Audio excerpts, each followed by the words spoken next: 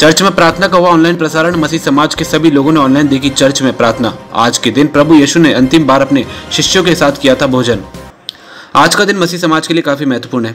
आज के दिन प्रभु यीशु ने अपने शिष्यों के साथ अंतिम दिन भोजन किया था। वैसे तो इस दिन मसीह समाज के लोग बड़ी संख्या में चर्च में उपस्थित होकर प्रार्थना करते हैं, लेकिन कोरोना वायरस की वजह से सभी धार्मिक स्थल बंद है। इसी वजह से चर्च में इस बार मसीह समाज के लोग उपस्थित नहीं हो पाए। लेकिन मसीह समाज के धर्म गुरुओं ने चर्च में प्रार्थना की और इसका सीधा प्रसारण ऑनलाइन यूट्यूब के माध्यम से किया। जितने भी मसीह समाज के लोग हैं, उन्होंने ऑनलाइन प्रार्थना को सुना। वही फादर ने लोगों से अपील किया कि लोग अपने घरों में रहें और प्रशासन और सरकार के संकट की स्थिति में साथ दें। हाँ सर। साथियों, आज संपूर्ण कलिसिया के लिए विशेष महत्वपूर्ण दिन है, जब हम प्रभु यीशु के अंतिम भोजन की याद करते हैं। विशेष रूप से हम याद करते हैं कि किस प्रकार प्रभु ने अपने शिष्यों के पैर धोते हुए कहा था, मैं सेवा कराने नहीं, बल्कि सेवा करने आया हूँ।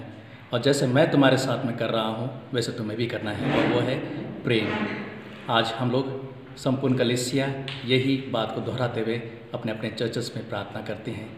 हम सभी जानते हैं इस वक्त ये पहली बार हुआ है, विश्व में, देश में और राजस्थान में, इवन अजमेर में पहली बार हुआ है कि हम चर्चेस में प्रार्थना नहीं कर पा रहे हैं।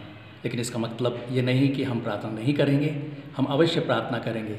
हम आज ऑनलाइन यूट्यूब चैनल के माध्यम से अपने लोगों से जुड़े हुए हैं और हम सब मिलकर के प्रार्थना करते हैं और वही याद करते हैं कि किस प्रकार प्रभु ने अपने शिष्यों के साथ में भोजन, अंतिम भोजन करते हुए ये आज्ञा दी थी।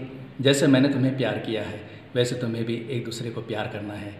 आइए हम सब मिलकर के प्रशासन के साथ जुड़ करके अवश्य इस महामारी से लड़ने के लिए उनका सहयोग दें और हम चाहेंगे प्रार्थना करना उन सभी लोगों के लिए जो अपनी निस्वार्थ सेवा समाज के हित के लिए दे रहे हैं। आइए हम ये पुण्य बृहस्पतिवार जो प्रभु यीशु के अंतिम भोजन की याद में हम चढ़ाते हैं सभी पुरोहित विशेष रूप से सभी मिशनरीज जो याद करते हैं कि प्रभु ने किस प्रकार अपने शरीर और रक्त को लोगों के लिए दिया उसी प्रकार हमें भी अपने जीवन को लोगों के लिए समर्पित करना है। सर तो एक संदेश देना चाहेंगे सर? लेकर मैं आप लोगों को यही संदेश देना चाहूँगा कि इस प्रकार प्रभु ने अपने दुखभोग के द्वारा दूसरों की मुक्ति की।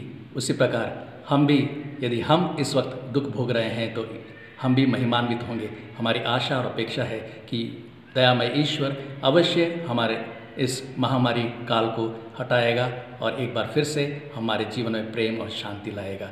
आइए तब तक हम पर प्रशासन के साथ मिल करके उनका सहयोग करते हुए एक दूसरे के लिए प्रार्थना करें।